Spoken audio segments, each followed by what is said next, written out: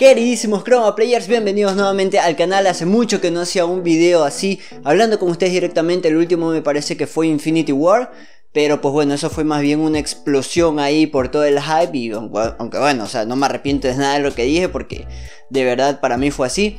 Pero hoy voy a hablar de una película que muchos venían esperando y es una secuela de El antihéroe, iba a decir superhéroe, del antihéroe más irreverente que existe, que es Deadpool. Así que bueno, si no han visto la película y quieren saber más o menos qué tal está, o si ya la vieron y quieren compartir opiniones y algo, pues bueno, sigan viendo el video, así que empezamos. En esta segunda entrega de Deadpool, Wade Wilson, quien después de salvar a su novia y asesinar al hombre que le dio sus poderes, tiene como objetivo salvar a un niño que es perseguido por Cable, una especie de soldado del futuro que tiene asuntos pendientes con el chico debido a que sus acciones van a repercutir fuertemente en el futuro del cual viene Cable. Wade hará todo lo posible para salvar al niño a la vez que aprende más sobre el significado de la verdadera amistad y la familia. Sí, es algo así más o menos como Terminator, bueno, básicamente es Terminator, pero bueno, en fin, el punto es que quiero aclarar algo y es que esta película no es una más película, una de esas películas de superhéroe más, ¿no? O sea, no es algo como lo que estamos acostumbrados a ver, sino que esta de aquí es una película netamente de comedia. O sea, es comedia, obviamente con toques de acción, pero no es como las que estamos acostumbrados a ver, que son más de un entorno familiar, que son, tú sabes, típica, típicas películas de superhéroes, se puede decir. Esta de aquí es algo netamente de comedia y que bueno es clasificación C o R como quieran llamarle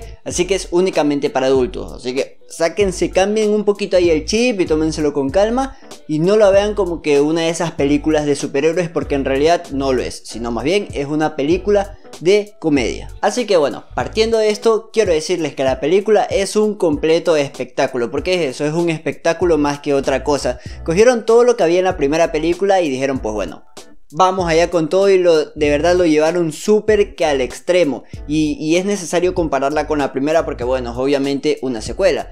Así que pues de verdad, cogieron todo lo que había, todo ese humor negro, todo lo hicieron mucho más oscuro y lo llevaron como dije todo mucho que mucho que mucho más al extremo. Incluso hay un par de escenas grotescas que bueno, sí te pueden impresionar un poquito, que te quedas como que se pasaron un poco, pero no, no en el mal sentido, sino que de verdad era necesario hacer todo esto para que la película eh, no se sienta como que bueno, por ahí le hicieron un poquito cambio, pero es lo mismo, no, sino que se siente que de verdad aquí se, se, fue todo, como ya dije, al extremo más que otra cosa. En términos cinematográficos, la película, o sea, de verdad está muy bien el humor porque lo llevan de una manera muy interesante, aprovechando pues esa cuestión de que Deadpool rompe bastante la cuarta pared, así que nombran no solo, qué sé yo, no solo nombran a los personajes de Marvel ni nada de eso, sino que nombran a quien sea, personajes de donde sea. Incluso es algo, es algo que me gustó mucho que ellos mismos, la película misma se burla por la manera en la que a veces cogen y bueno, solucionan algo de una manera simple y bueno, y ya, bueno, tenemos para adelante y ya está. Es algo que me gustó mucho, hacer como una autoparodia y autorreferencias. De verdad es algo que está bastante bien en la película. Y también el hecho de que hay cameos muy importantes, cameos que de verdad son impresionantes, que no te los esperas para nada. Y se me olvidaba también decirles que por favor se queden a las escenas post créditos. De verdad valen muchísimo la pena ver. Yo sé que es un poquito cansado esperar que salgan todos los créditos. Hay dos escenas post créditos, pero de verdad tienen que quedarse porque de verdad están muy buenas, están muy graciosas y se van a reír muchísimo. Las escenas de acción esta vez me parece que están un poco mejor que las anteriores y bueno, también es gracias al director David Leitch, que es el que hizo pues bueno, esta de aquí de John Wick y, se nota bastante ese trabajo. También Atómica me parece que la dirigió, no estoy tan seguro, pero se nota bastante el trabajo, ¿no? Esas, esas coreografías, esa manera de, en la que se desarrollan las peleas y las escenas de acción están bastante marcadas. Pero la escena que a mí de verdad así me gustó muchísimo, que yo dije, no, aquí se pasaron, es en la que, bueno, no es spoiler porque sale en el tráiler, en la que se tiran del avión. Y es una secuencia más o menos larga, se puede decir, toda esta escena, pero de verdad está muy bien hecha, es muy graciosa. Esa escena en sí tiene tomas, o sea, la toma es muy graciosa, ¿no?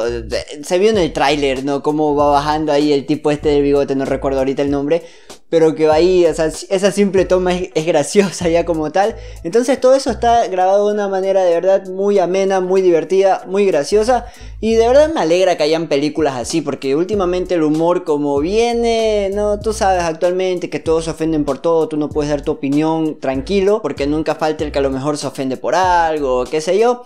Entonces como que este tipo de películas que dicen, bueno, no nos importa nada y hacen lo que quieren y de verdad, de verdad les funciona, me alegra mucho que se hagan cosas así, porque de verdad es muy necesario que se hagan ya este tipo de cosas y no venir con humores absurdos como normalmente se está viniendo, ¿no? En lo que sí les seré sincero es en que me faltó un poquito en los efectos especiales, no sé, sentí que ahí fallaron un poquito, Tal vez en la primera era un poquito más asumible porque pues bueno, no estaba pensada para ser un éxito, estaban jugándosele y a ver qué sale, pero esta vez sí era lógico, era obvio que al menos en taquilla iba a reventar. Y no sé por qué los efectos se ven un poquito cutres a veces y como que mm, no te terminan de convencer.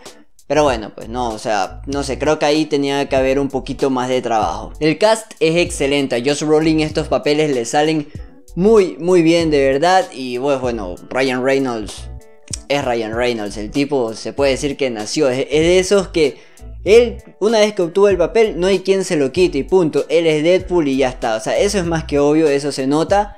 Eh, los que sí me sobran un poquito son algunos personajes que están, eh, no sé, no siento que no tienen el porqué de estar ahí, o sea, no tienen una función ni nada, están como que, eh, bueno, a ti tocaba ponerte aquí y ya está, que son el taxista, los amigos más cercanos de Deadpool, no, de, de Wade Wilson el taxista este y el otro, el dueño del bar.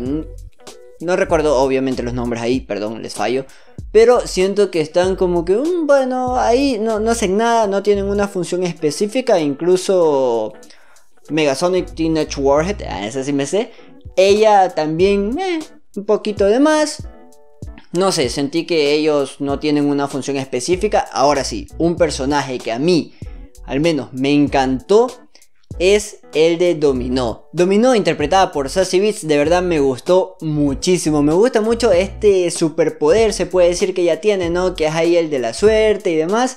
Eh, cómo está muy bien adaptado al cine, a la película, para que el personaje sea interesante. O sea, es de los personajes de esos que te llaman la atención y aparte tienen su carisma y todo. De verdad, no sé, me encantó ese personaje.